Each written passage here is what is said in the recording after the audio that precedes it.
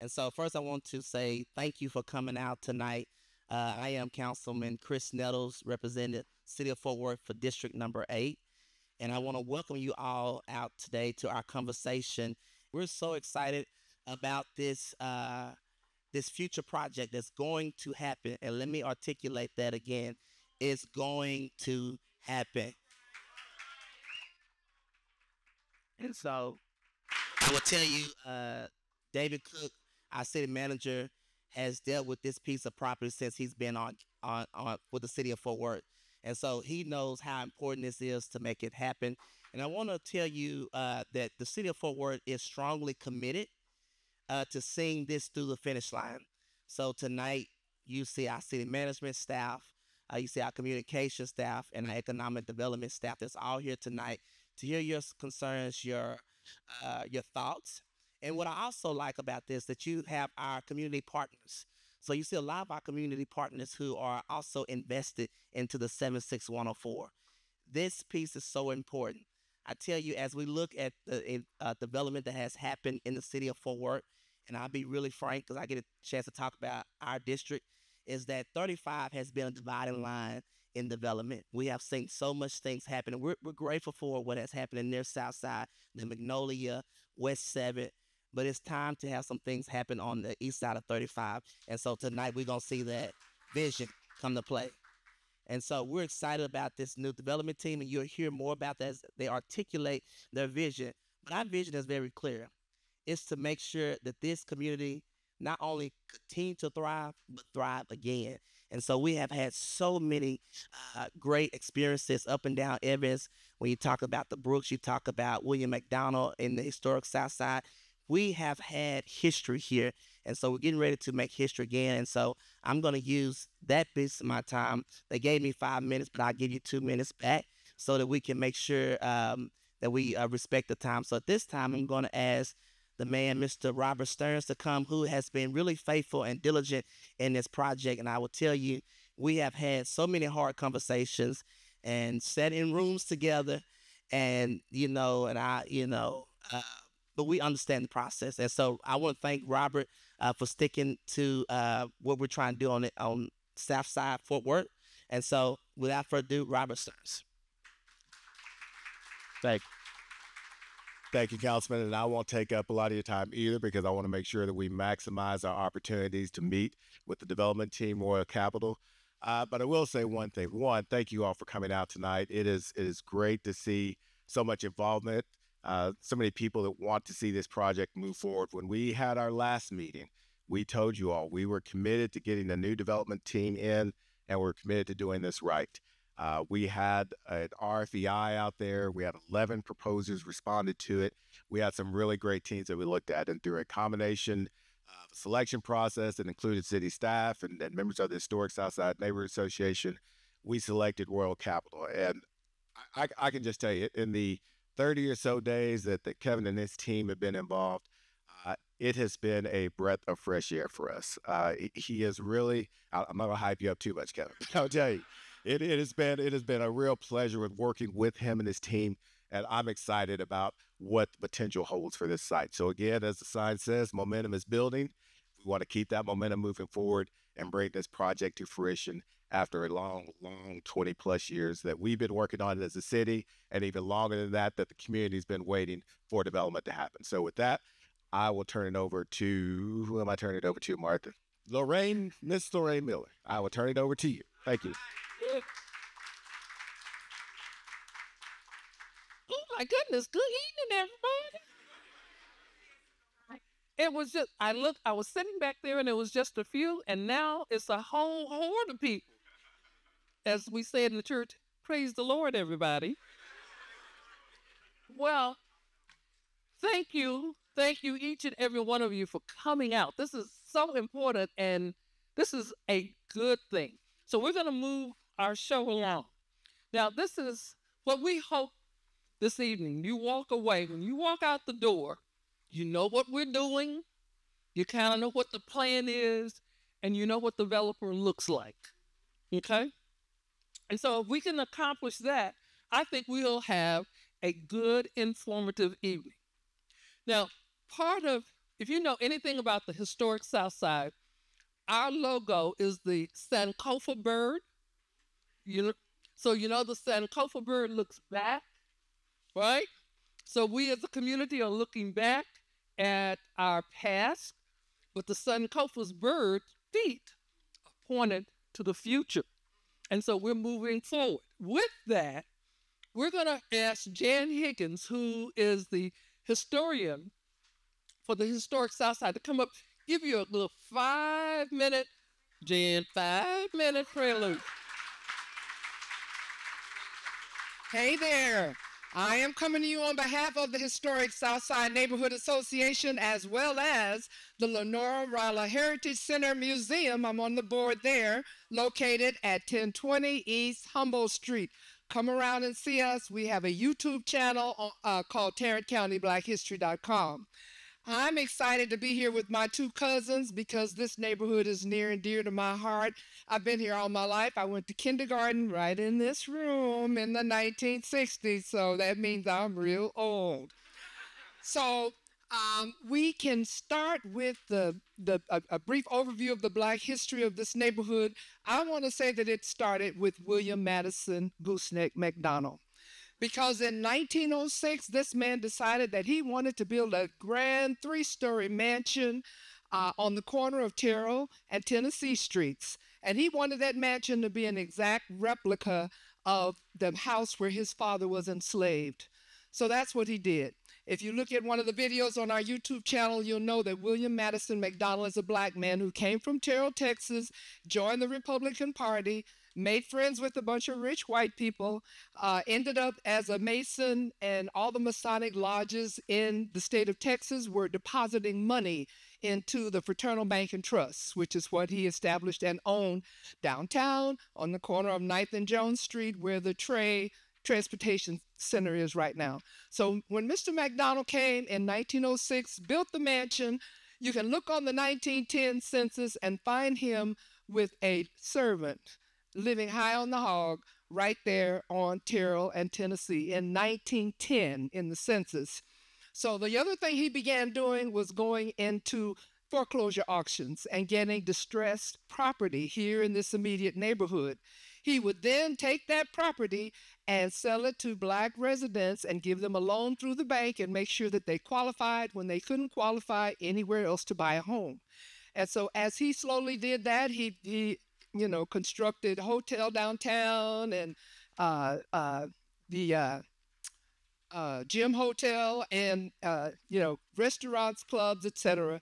So a lot of black businesses sprung up right here on Evans Avenue as a result of loans that Mr. McDonald was able to give people that couldn't get loans anywhere else. So he's my hero, and he's like the beginning of the Terrell Heights neighborhood. So I have asked my cousins, who are also a wealth of history, if you ever talk to them. This is my uh, first cousin, Arthur Lee Jackson, Lee, Arthur Lee Jackson, and her family, as well as Jean Ransom's family. They own the, the property uh, on which we are sitting right now, back way back when, and they're going to talk a little bit about it. I'll let you talk about Aunt C. I grew up on the corner of Evans Avenue and Rosedale, next to Mount Zion Church. My grandparents owned the, that land that went around Rosedale. Those were her red homes on Rosedale. And on Evans, um, we lived in the big house, and next to the big house, she built uh, a building that housed Mr. John Turner, uh, John Turner, uh, the photographer. Um, was Shadowin in there? Mr. Uh huh, Mr. Shadowin, uh, the insurance. Little John Eddie's on yours. Uh huh. Uh, he rented from us. Um, and she had a beauty shop and a barber shop. In the front of the building, after my uncle and aunt moved to Chicago, my dad opened an ice cream parlor in the very front. And he, I don't know if you recall the corner, uh, when it was a lot of junk on that corner. The end building was my dad's hamburger uh, shop. And I'll pass it over to Okay. I'm Elvia Jean Ransom McBride. My father was the first black doctor to have his own hospital in the state of Texas. He's been honored in Austin, Texas by the medical um, Texas Medical Association down there, um, along with five others that were historic doctors in other parts of the state. I lived on Terrell Avenue from age zero to age 11 when my father passed away. I went to live with my grandmother on Evans and Rosedale in the big house, as she calls it. Our house was just as big, so. but um, I lived with her until I got married at age 20 to a U.S. Air Forceman. And uh, this area was a lifeline. We brought in military GIs that had no place else to go that were black. So they came to this area on the bus and got off on Evans and Rosedale. My grandmother and I sat in front of her house every night, just about in the summertime, and watched them leave from the bus stop, walk up the street to all the bars and restaurants they wanted to go to, including churches. So, We all, out of time. Gotcha. yes, yeah, it's our time. This, this was a wonderful place to grow up, and I'm happy to be here, and, and we're all happy to be part of this project. Thank you. Great. Come on, guys, let's give them a warm welcome. The history, the ransoms and the leaves. Oh, this is great. Now there's some empty spots in here with some seats. Y'all come on and get you a seat. We are absolutely delighted to welcome I um, Kevin to our neighborhood. And what we'd like to do right now, as Kevin comes up, I want the members of the steering committee of the Historic South Side and the Economic Development Committee. These folks have been doing this for quite some time. Come on up, Kevin. Stand up, y'all, quick. So you know these are the folks that have been dealing with this. There's James Walker is our president. Wave your hand, James, so they'll know. Now, my partner in crime when we were on the selection committee, thank you, fellas, was there you go, Walter. I didn't even have to call you out. Walter and I were partners in crime, I guess. Um, with, we uh, we have worked closely together uh, as part of the selection committee, and so, ladies and, gen- and gentlemen, we're gonna welcome Brother Newell. Howdy. Howdy. And so we're going to ask a few questions and then we're going to get to you. So I want you to, don't want you to make a statement. We want you to ask a question, okay? And then we'll just, we'll move this right along. So, Kevin, Yes. Tony, welcome. As the little, my little cousin says, off up in here and for what? For what? Okay. For what? Um, can you please tell us a little bit about yourself and what's your background, your education, and can you share with us kind of how did you get into the real estate development business? um, I'm gonna say this as as if it was like a linear Okay. path, but you know, it's a lot of uh, you know, uh, you know, quality opportunities that came my way that, that led me to real estate. Um, from a general person standpoint, I'm very familiar with the South. Um, that's what I kind of told you. I was born in Mississippi, Greenville. Um, moved to the Midwest, uh, Milwaukee, when I was a, a toddler, and you know, pretty much, you know, went to traditional schools there. Um, left. Um, well, stayed in Wisconsin. Went to the University of Wisconsin, Whitewater for undergrad. Just forgive me. Okay. Yeah, I know, right? to study uh, uh, undergrad B school. Um, but how I ended up in real estate though was actually um, the opportunity I had to participate in a program called the Marquette ACRE Alum uh, ACRE Program, which essentially was a program dedicated to finding ways to uh, get um, minorities involved into real estate development. So um, that program was at Marquette. Okay. Um, so I was doing the dual track program at that point in time, um, doing uh, Whitewater's B School as well as Marquette's real estate program. And so what happened was I was actually coming back from uh, um, Brazil. Uh, my colleague Terrell, um, we was coming back from the same trip. It was a study abroad program. When I, so when I graduated from undergrad, I had two opportunities. Um, I had interned at Kohl's Corporation, which is one of our primary um, uh, corporations at the time in, Wisconsin, and they had a job opportunity for me, uh, full time job opportunity. Um, but then um, the program at Marquette was set up where the top six students um, got one of six placement, one year placement opportunities. And you were one of the six. I was one of the six. Okay. And um, yeah, you are. and so uh, you know, I say I'm gonna say this very in a linear context. It was a lot of hard work, but essentially that's what happened. And the, the placement opportunity was really uh, for me um, provided was the opportunity to go work in public finance. Okay. So kind of learning how public finance works from a, a bonding standpoint, tax credit standpoint, you know, infrastructure programs and so forth. So it's just like 06, 07, Yeah. you know, dealing with the major uh, crisis that we had going on at the point, that point in time. So fast forward, I decided to forego the for the the absolute job and to take this one year placement opportunity. Okay. Fast forward, um, six months into that role in public finance, you know, six months to go, and they decided to say, hey, let's let's let's let's get his kids some opportunity here to you know really drive something. Fast forward, stayed at there for three and a half years. Uh, really kind of went from asset manager of our risk-based portfolio, and then um, moving over to the, the front end of the business, more business development side. And then I started Royal Capital. People always say, like, how did I start the company at 25, 26? There's a couple of fundamentals that went into that. Obviously, I didn't have any, I didn't have any bills. I didn't have any children or anything like that at the time. I actually just decided to leave because I knew my entrepreneurial spirit was dwindling away. And so being able to fast forward um, through that process and say, hey, I want to start this company. I want to do it now. Um, it needed to be done now is what I told myself. And I just left it, left the organization that I was at the time and I uh, decided to start the company. Oh, good, good. So being in finance Yeah. helps you with the real estate development. Does that?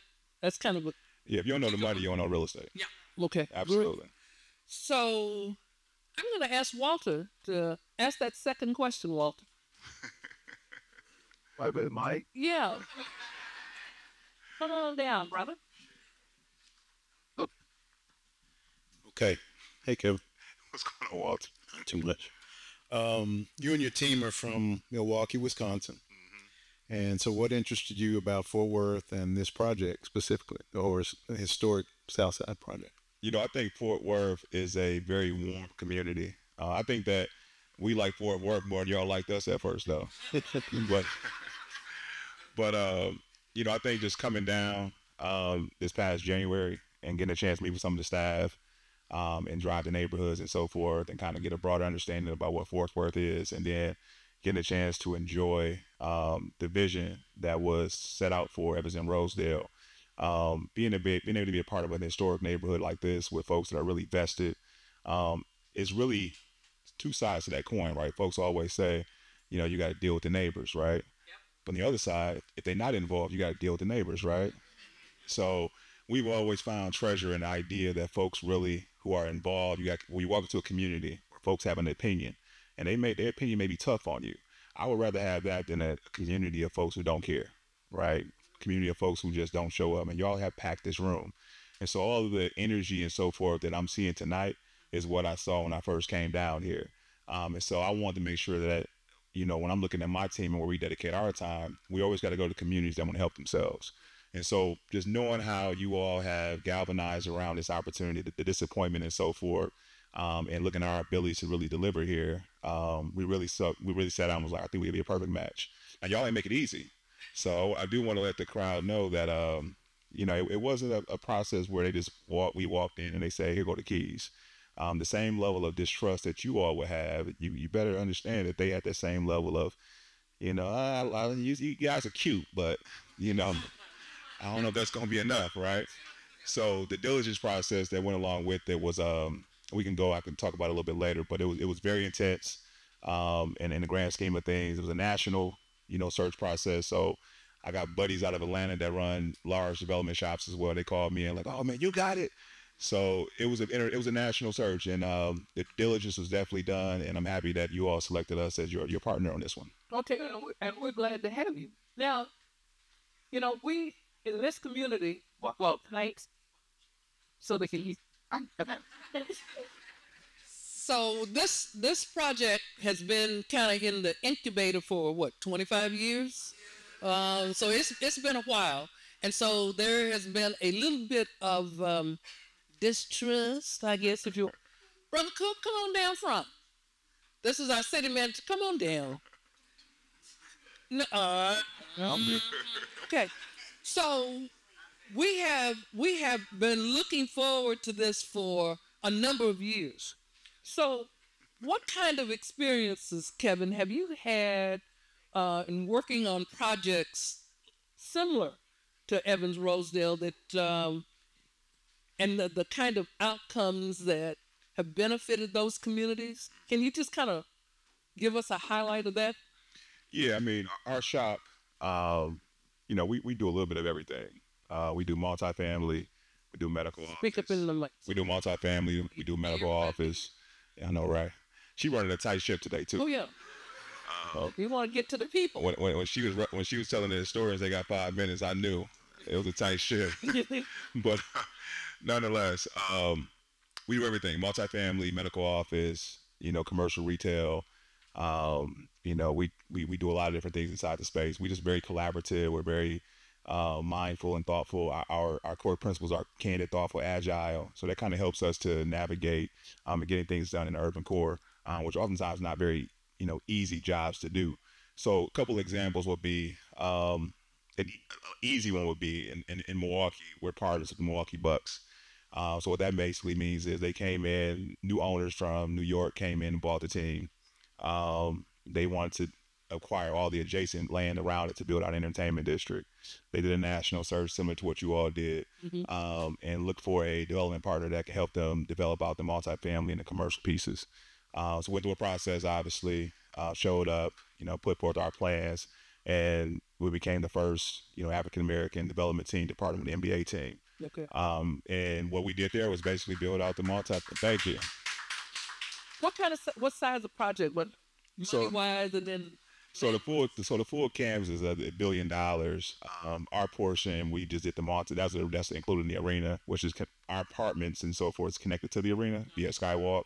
So we built out the multi-family and the the gym and some other retail components and so forth, and the parking structure for like twelve hundred cars. Uh, so that's what the phase we're at right now. Um, I got a note in my inbox trying to look at another phase, which we're kind of like we don't know if we're gonna be the best partner on that one, but nonetheless, that's what we've done um, on that type of a deal.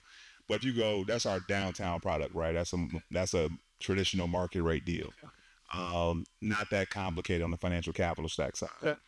But then when you go uh, probably uh, less than a mile north uh, on our on our MLK Drive, um, we acquired um, a few city blocks um, in 2000, probably 18 or 19, maybe somewhere around there, 19, let's call it. We acquired it. In that process, what we did was we did a extensive search process across the city. We had a partnership with the Medical College of Wisconsin, so similar to your medical district here, um, and our philanthropic partners, the Greater Milwaukee Foundation. Collectively, we came together and said, we are now ThriveOn Collaboration. So ThriveOn Collaboration at the time was really set up to identify ways that we can be of high impact in urban core with a focus on the social terms of health, right? And the social terms of health is the new, you know, uh, focal point for most healthcare organizations. They're coming in and they're saying, hey, in our case, we can come in and provide the highest level of um, medical care. But if our patients that we're serving don't have quality housing, access to good quality jobs, transportation, and so forth, partnership kind of. yeah. So we all doing the same thing, right? I'm building housing. They're doing what they're doing. They need housing in order to make sure their, their patients are successful. Fast forward though, because I'm trying to stay on. I, I'm getting I'm getting ahead. I mean, So fast forward though, what what this, what this, what this real estate what this real estate is though, um, we, the city blocks that we acquired. So it, we we came in, we bought the historic building, uh, and some neighboring parcels. We converted that into the Medical College of Wisconsin Centers Institutes that focus on the social determinants of health. So they have two big floors inside of that building. Um, then we have the Greater Milwaukee Foundation, who moved their full headquarters and they focus on racial equity and inclusion. Um, well, racial equity.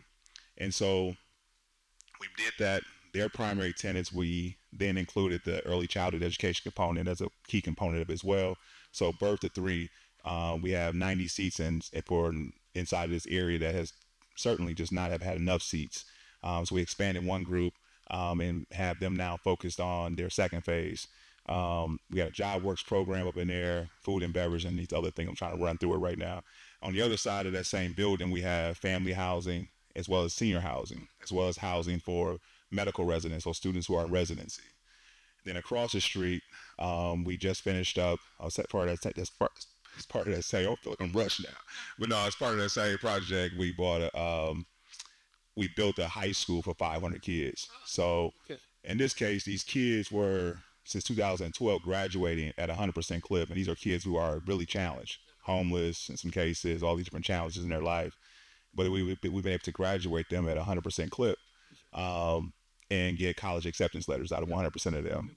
The challenge was though they were in a school that was a former um, Goodwill with no windows and so forth.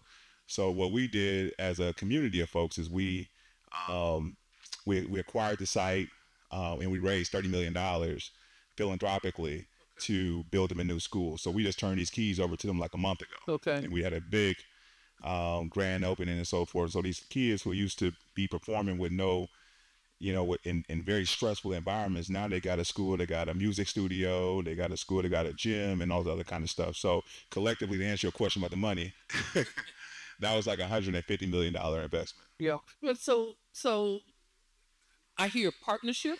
partnership. I hear um, helping. You see problems in an area and you try to address them.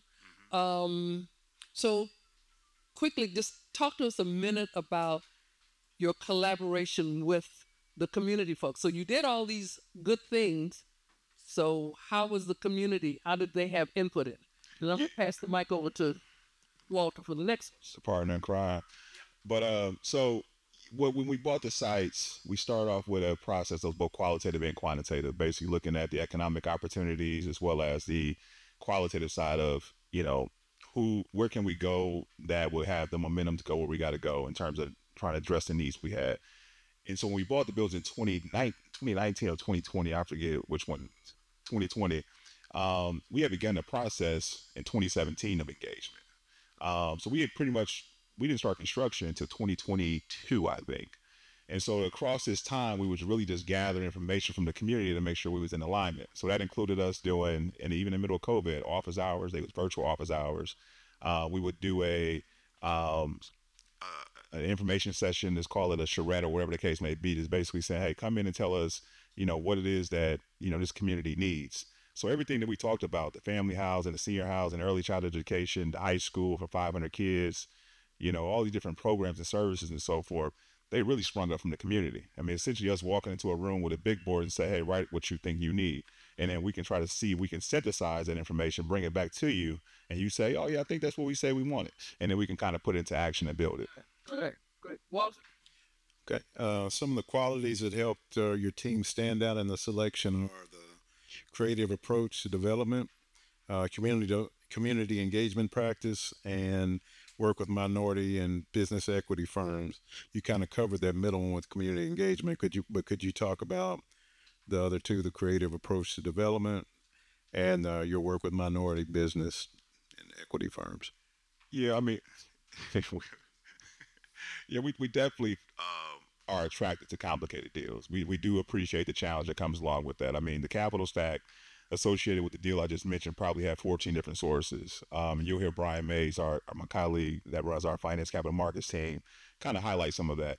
But um, on the construction side and so forth, we always look for opportunity for us to be collaborative. So in that case, we have very limited, um, a very limited amount of prime um, general contractors um, in Milwaukee.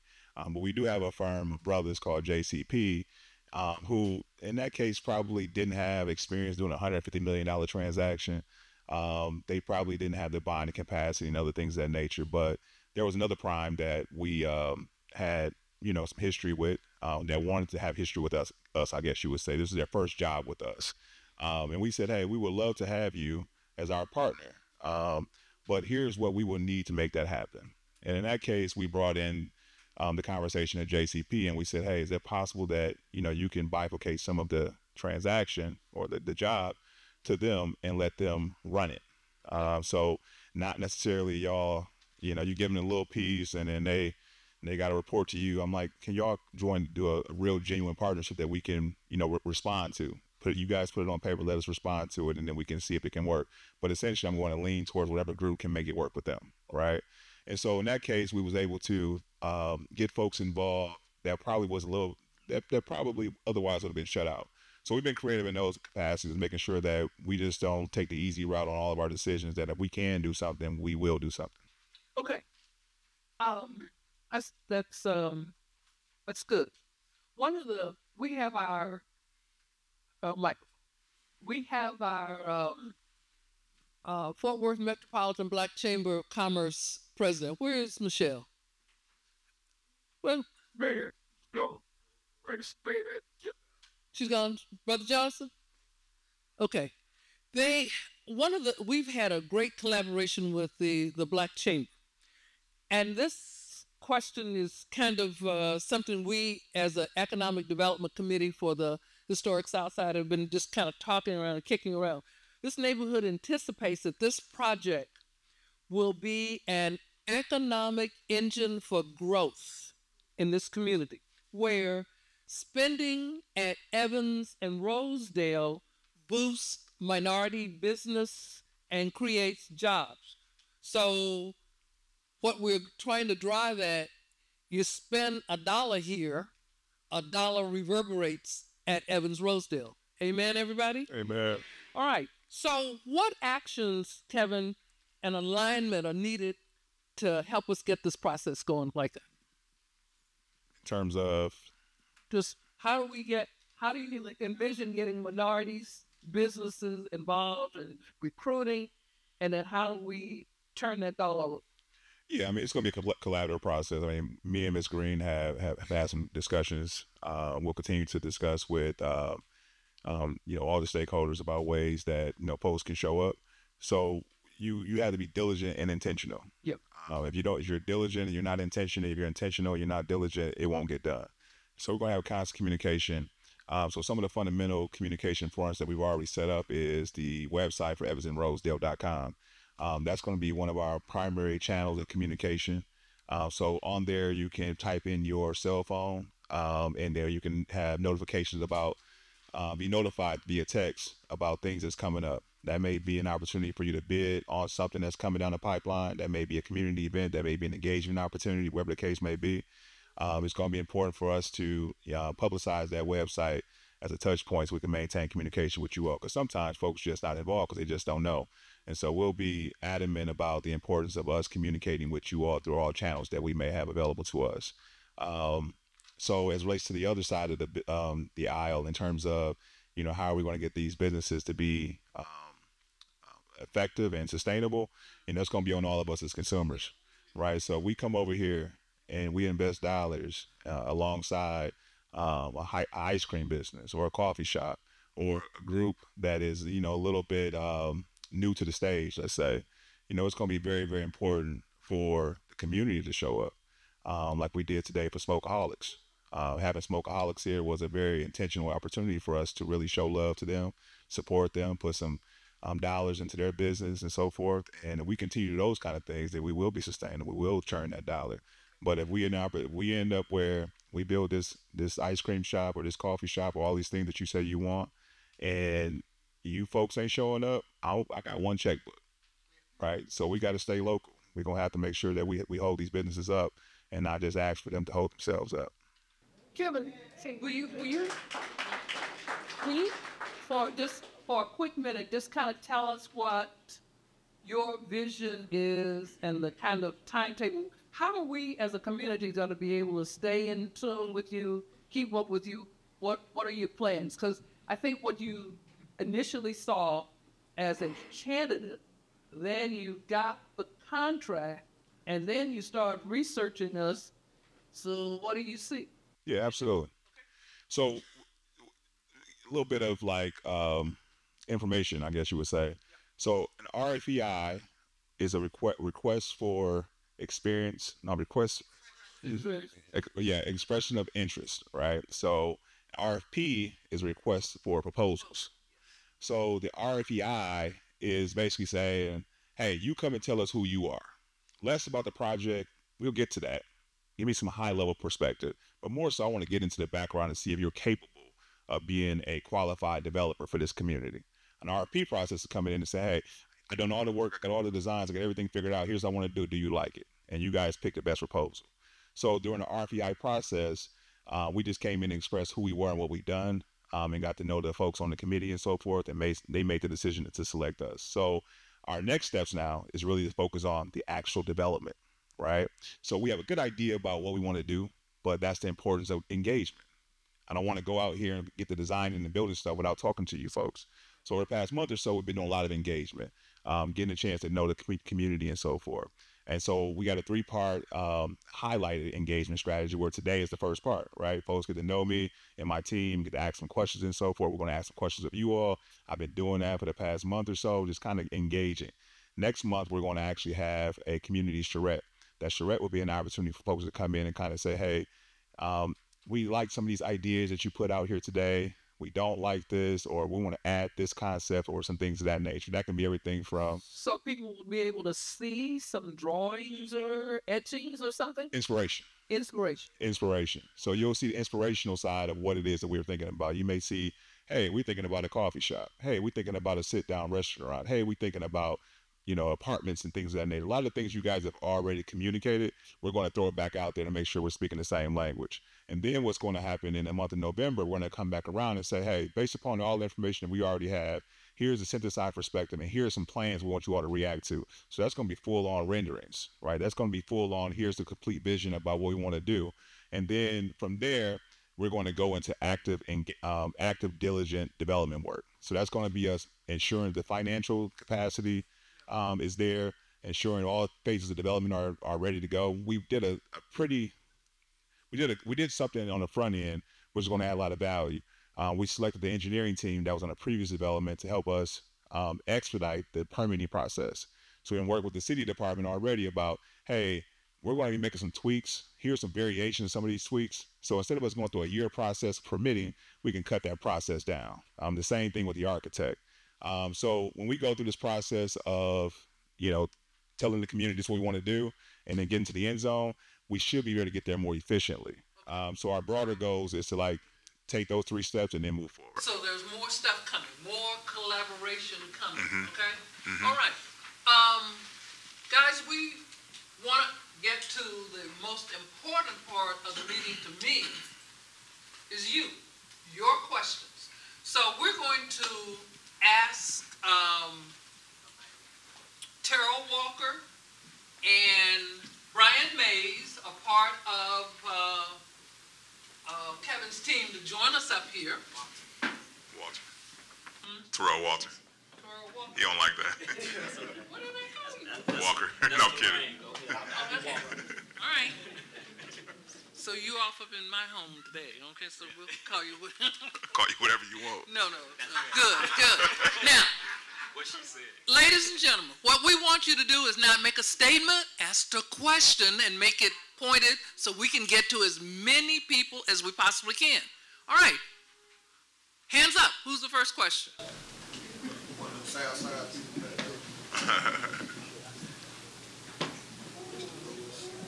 Good evening. Good evening. I'm Sharon Douglas, Chair of the Board, Mission Potomac Chamber, and I appreciate what Lorraine and, and the community have done with this. Absolutely. Number one, will this be a base project?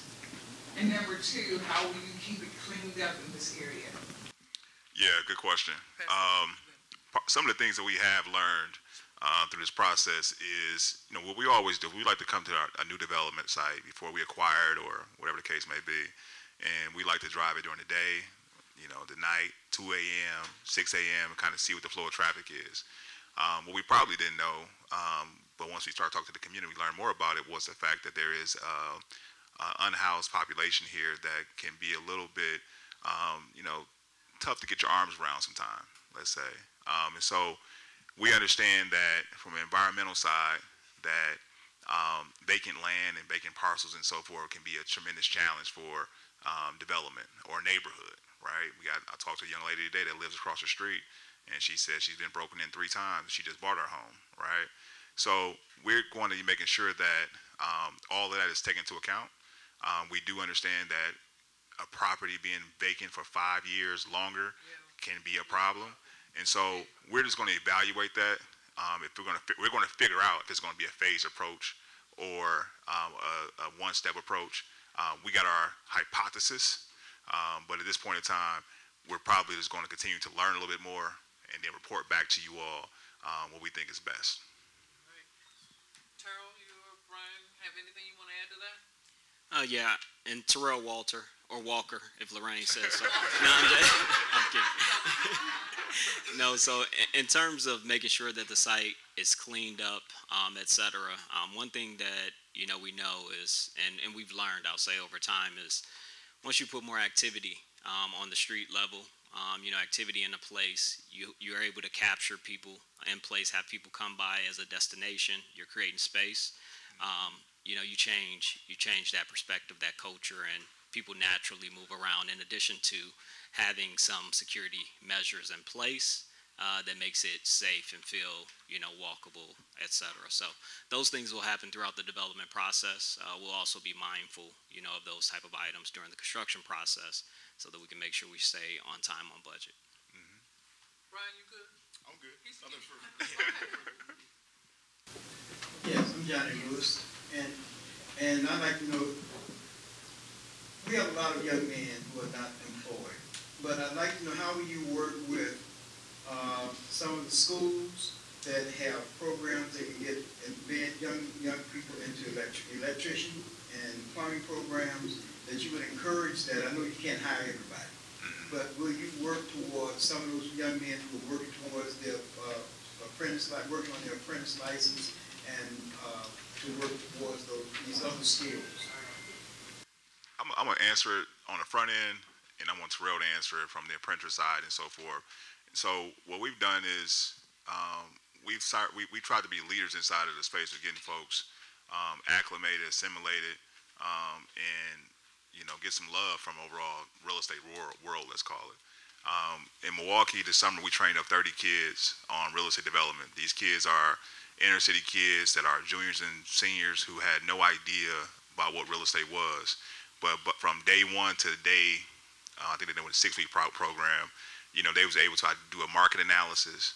Um, they was able to do a construction preliminary budget, uh, do a financial pro forma, and make a investment pro, uh, presentation about why we should acquire an asset or not.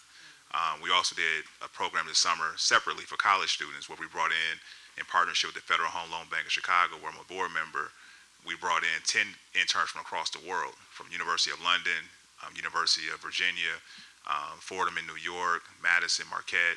Uh, I may miss some, some of those schools, but in general, we brought them back to the city.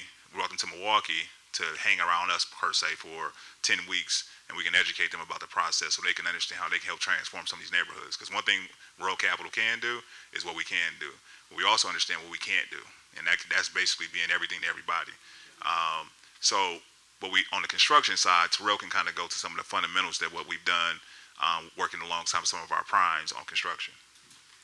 Yeah, and speaking direct to the apprenticeship piece, um, so one of the things we, we do as a best practice is we, we want and we work with the prime contractor to make sure that our construction site looks like the community we're building in. Um, so it's, it's about putting get, getting getting people to work and good qualified individuals that want to work, right? Giving them the opportunity. So we have self-imposed goals where we're doing apprenticeships, um, et cetera, and those are written in our contracts all the way down to the subcontractor level. Uh, so we have apprenticeship requirements. We're tracking those goals on a monthly basis and creating reports so that we can have open book, um, you know, on how we're, how we're doing. Uh, one of the things that I have to be very transparent about is we can't do that without community. You know, we need to know where the resources are. What are the schools that have pipeline programs? What are the missing links? How can we fill those gaps and create support around the program so that not only can we get people to the job site, but we can make sure we have a conducive environment when they're at the job site as well, right? Um, because we're doing we're doing lunches with all the subcontractors to come to the site and say, okay, you know, for all the apprentices, you know, how's it going? You know, are you experiencing racism on the job site? You know, what what are the things you're experiencing so that we can retain them, so that we have long term growth uh, when it comes to minorities being in construction. Well, everybody thinks that I'm in charge, but Martha Collins with the city is really in charge. Here you go, Martha. Here's the mic. Yes, I'm Autumn Muir with the Federated Women's Association. With a little building across the street over here. You guys come, bring new businesses and everything. Our taxes are going up. Our insurance is going up. So how can you help us? Brian, this might be time for you, man. uh, you got it. I'll, I'll tee you up. I'll tee you up. Um, now, Nettles and I had a conversation about this. um, I'm not city government. Um, Nettles isn't city government. Nobody in this room controls property taxes, right? Um, but what we do do is we try to be creative where we can. Um, I'm gonna tell you a program that we've done in Milwaukee that I can't say we're gonna do here, um, but I'll give you an example how innovative we've been in the past. Um, in the neighborhood of one of those developments where we brought 150 million dollars in a short period of time, um, that was just down the street from another development. We probably, you know, um, that we that has significant impact on the community. Um, we did what they call a uh, housing displacement fund. Um, so what that basically was, anti-displacement fund. I'm sorry, y'all got me. So an anti-displacement fund where the private sector philanthropically came together and said, this is a challenge that we forecast, that we want to be a part of the solve. So this is all the business corporations and so forth. And they said, you know, Ms. Johnson, um, property tax have been $1,000 uh, for X amount of time. And our forecasts say that they may go up $500 um, by the time you guys get done with development because everything is going on. Um, so what we did was we philanthropically set this fund up where basically Ms. Johnson can go to the city and say, here's my thousand dollars. And she has like a three questionnaire, three uh, question questionnaire from, from that she fills out. And then this fund um, that operates perpetuity funds the remaining balance. So she doesn't have to worry about the increase in property taxes. So we've got creative around some of those things, but I want to be transparent in saying that that's not transferable everywhere. Um, that's not a challenge that we can, um, we don't control the property tax or anything like that. But it was something that the councilman and I had a good discussion about because we think there's some other opportunities that can be discussed that, that's probably in his favor.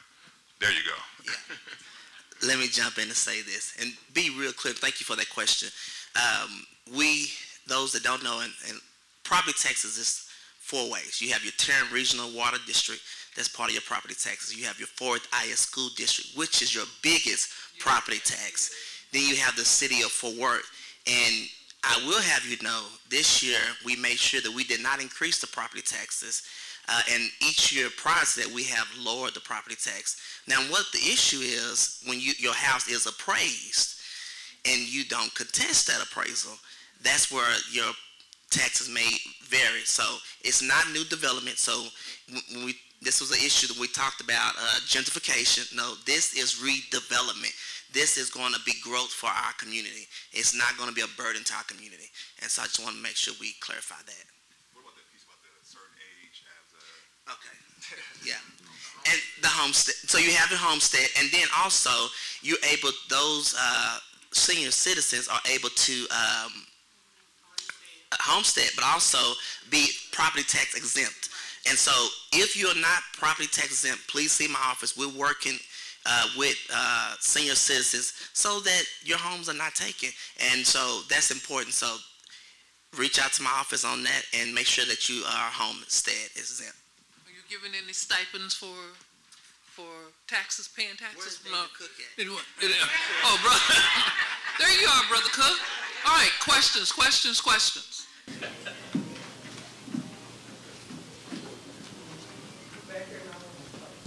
Hello, uh, my name is Megan Boca. I'm with the Tarrant County Black Historical and Genealogical Society. And I'm curious as to how your development plans uphold historic preservation in Tarrant County.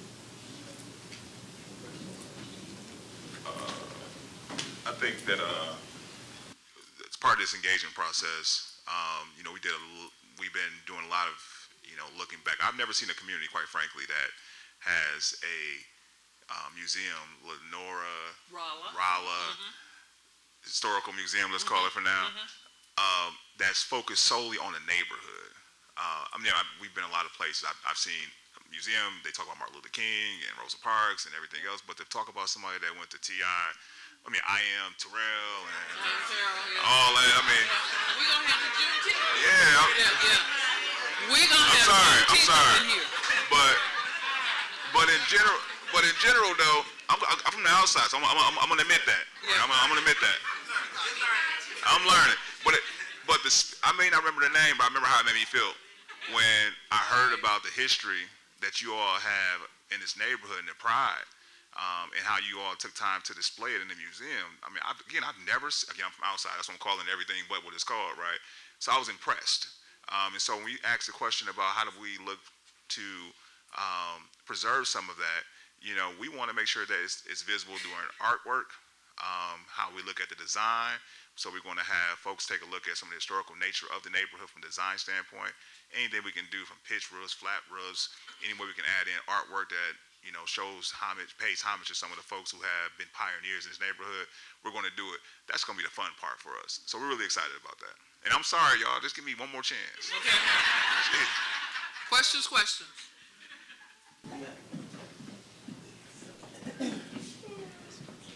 Evening, I'm Tammy Pierce, Chair of United Black Contractors, so I have a question for you.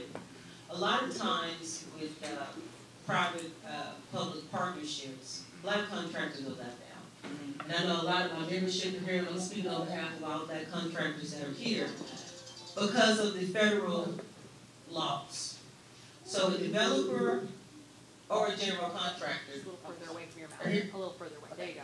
A developer or general contractor can pick anybody that is deemed a minority, okay?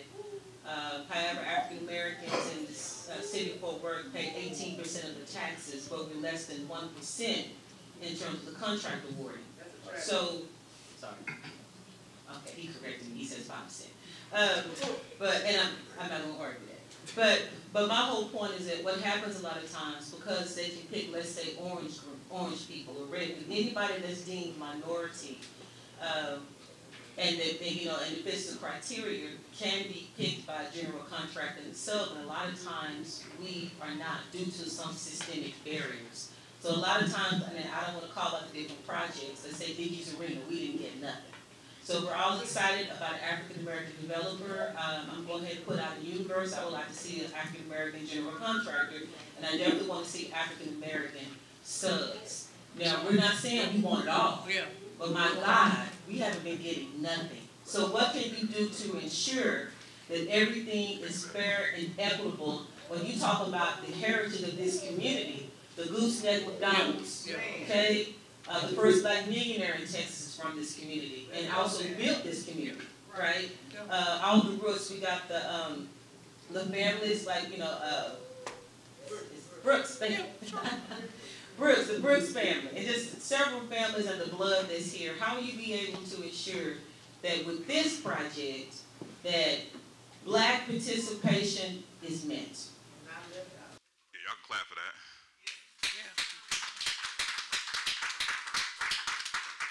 Um, you remember we had this conversation uh, when we was building a deal in Milwaukee, and I have to remind folks that I'm black, so um, we mission aligned there um, in, in the context that um, Milwaukee is a city that is um, 40% black.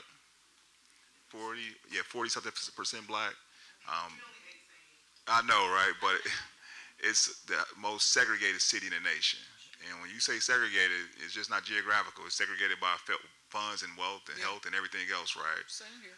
Um, so I deeply understand the critical path that's needed in order to get that to change. Because I always tell people, I would be trying to help out issues related to black folks if I wasn't black, because I feel like they're the most disenfranchised group of people um, in most communities for a lot of different reasons, right?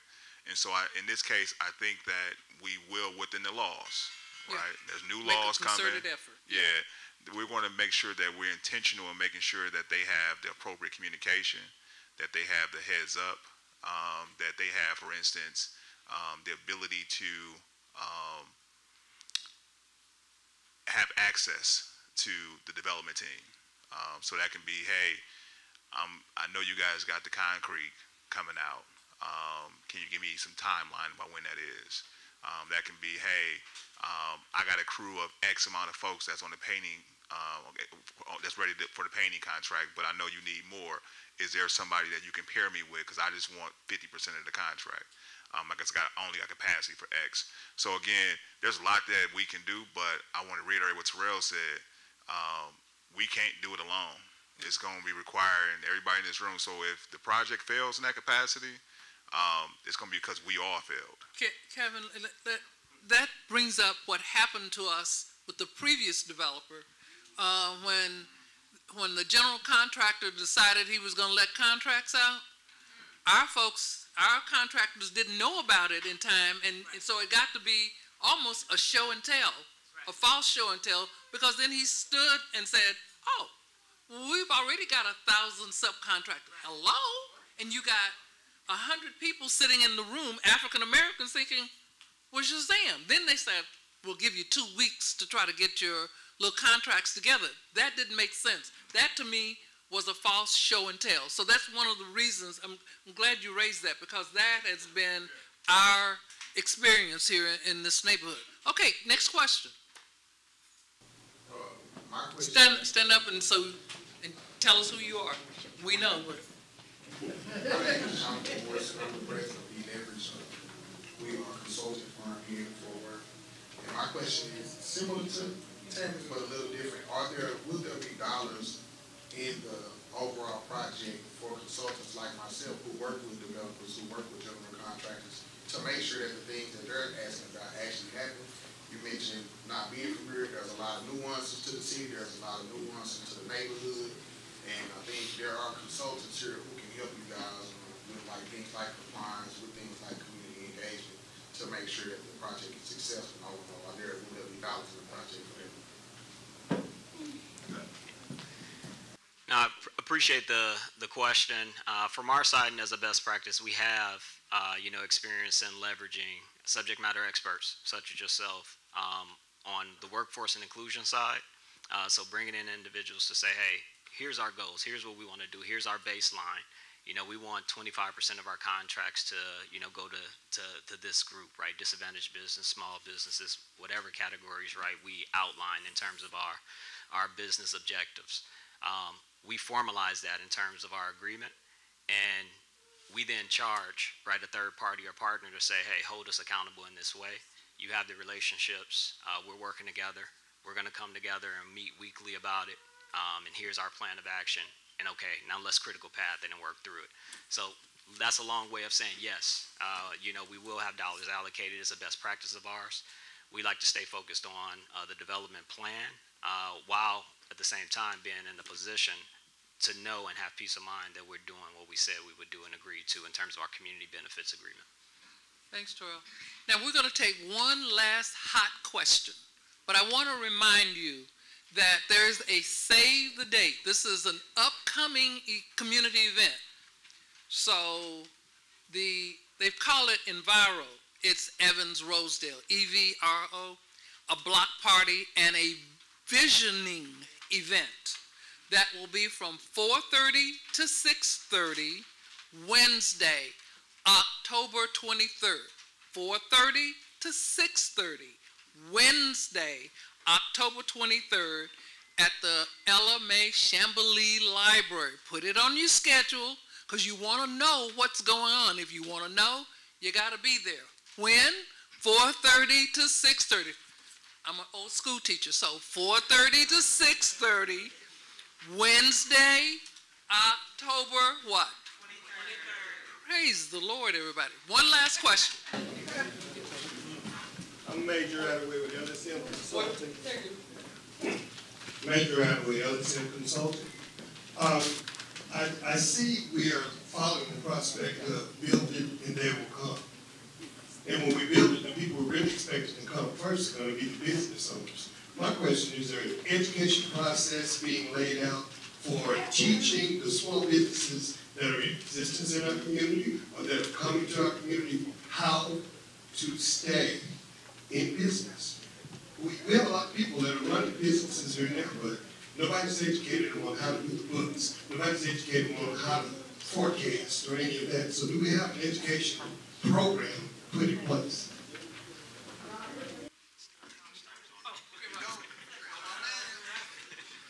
So I will say, just on the other side of the freeway, there is a large brick, red brick building called the James E. Guinn Entrepreneurial Campus. And at the James E. Guinn campus, there's the Devoyd Jennings Business Assistance Center. And at that campus, you can have workshops on how to start your business, how to get your business plan together. You have funding partners there like Alliance Lending and People Fund and William Mann CDC.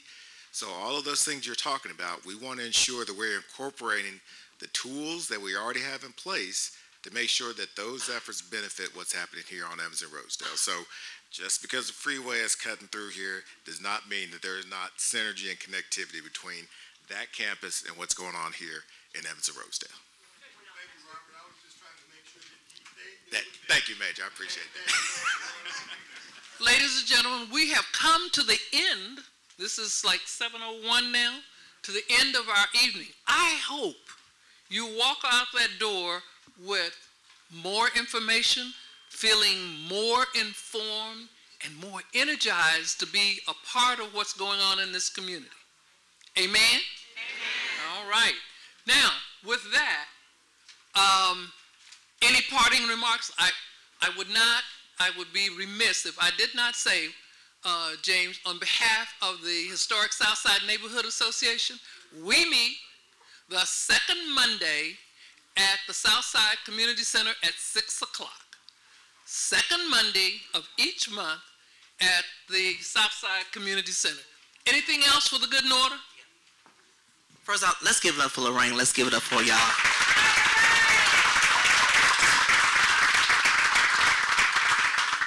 This is true dedication. And I want to just articulate one more thing about some of the questions that was asked. It's so important when we when Royal Capital came, we made a commitment with the city of Fort Worth that we was going to be very committed to working in this partnership.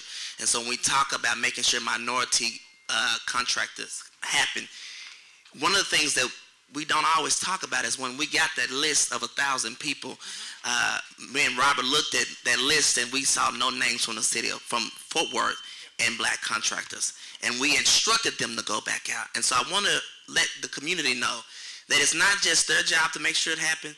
It's the city of Fort Worth job to make sure it happens. And it's also our community job to make sure it happens. And so we're going to do our part. We need to make sure that you're willing to do your part. And so we look forward to seeing you guys on that Wednesday. I'm, I don't know who keeps scheduling meetings on Wednesday because I mentioned church tonight. But uh, but nevertheless, uh, that's just I just threw that out there. But I, I'm here. I'm dedicated to it. So thank y'all for coming out. Thank y'all for being involved. Thank you, Jan.